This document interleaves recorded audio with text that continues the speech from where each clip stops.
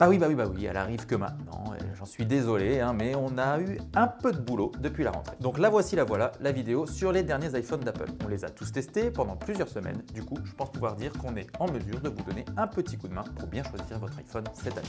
Allez, on attaque. En 2022, comme chaque année, depuis quelques années, Apple propose cette année 4 iPhone 14. Ça fait beaucoup d'années. Ouais, parce qu'on en est au 14, hein, j'ai oublié de le préciser en début de vidéo. Mais contrairement aux autres années, Apple a choisi de dire adieu au format mini, visiblement pas si populaire que ça. À la place, Apple a lancé un iPhone 14 Plus. On a donc cette année un iPhone 14, un iPhone 14 Plus, un iPhone 14 Pro et un iPhone 14 Pro Max. On va donc diviser la famille en deux clans.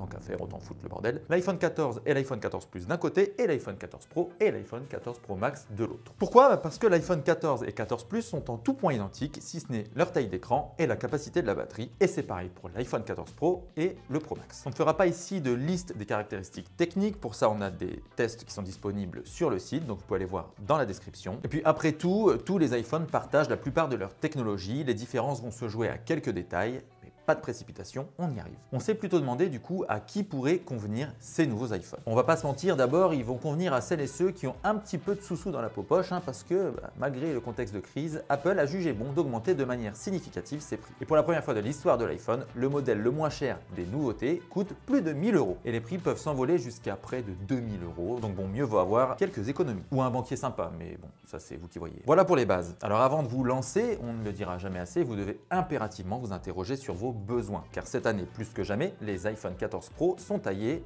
pour les pros. Selon nous, les différences avec les modèles standards ne sont pas forcément significatives à l'usage. En dehors de la Dynamic Island qui donne vraiment un aperçu des prochaines générations, les modèles Pro sont surtout des outils de créativité conçus pour les professionnels. Après tout, c'est dans leur nom, hein, mais on a tendance à l'oublier. La grande différence avec les modèles standards réside dans leur polyvalence en matière de photographie et de vidéo, puisqu'ils ont un téléobjectif en plus. Les iPhone 14 Pro et Pro Max disposent aussi d'un écran plus premium avec ProMotion et donc Dynamic Island dont on vient de parler. Donc si tout ceci n'est pas primordial pour vous, les iPhone 14 et 14 Plus sont largement suffisants, d'autant que la différence de prix avec les Pro est non négligeable. Pour le choix entre le Pro et le Pro Max, seule la taille et l'autonomie feront la différence, le Pro Max figurant parmi les meilleurs modèles du marché. Donc les iPhone 14 Pro et Pro Max on les conseille aux professionnels ou celles et ceux pour qui l'iPhone est un outil essentiel de productivité. Pour les autres, c'est-à-dire la majorité des consommateurs, les iPhone 14 et 14 Plus sont largement suffisants. Ils iront même bien au-delà de vos attentes. Car même s'ils sont un peu moins équipés que les pros, ils restent d'excellents photophones. Ils sont aussi armés pour créer de belles vidéos. Ils disposent d'un bel écran. Bref, ils sont vraiment premium. Les amateurs de grands écrans trouveront donc leur bonheur avec l'iPhone 14 Plus,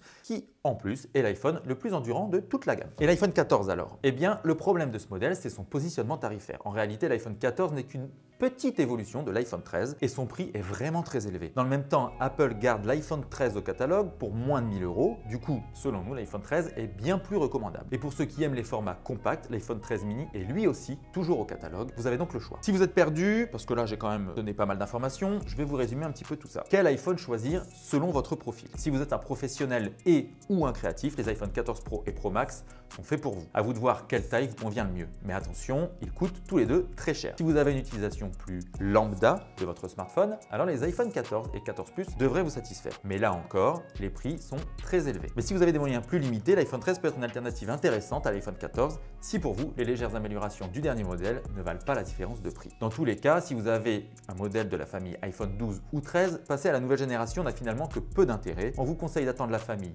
iPhone 15 qui marquera un vrai changement. Si vous avez un iPhone 11 ou un modèle antérieur, alors vous ne regretterez pas l'achat d'un modèle de la famille iPhone 14. Préparez juste votre portefeuille parce que vraiment, ça pique très fort. Et si vous n'êtes pas enfermé dans l'univers Apple, des alternatives existent sur Android, notamment un modèle dont nous allons prochainement parler, mais ça on vous le garde pour plus tard, donc n'hésitez pas à vous abonner et cliquer sur la petite cloche. Allez, je vous laisse, merci pour votre fidélité, c'était Romain pour la chaîne de Presse Ciao